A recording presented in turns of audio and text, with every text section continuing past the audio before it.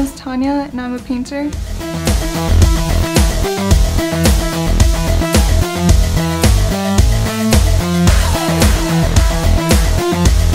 Well, ever since I was young, I really like to paint and I thought as I'm older, why not actually study it? And I learned how to paint technically and I think it's quite beautiful. Right now I'm developing my style and I think it expresses femininity.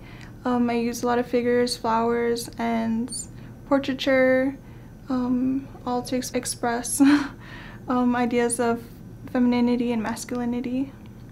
Honestly, I love, this might be shallow, but I think it's probably the way it makes me feel.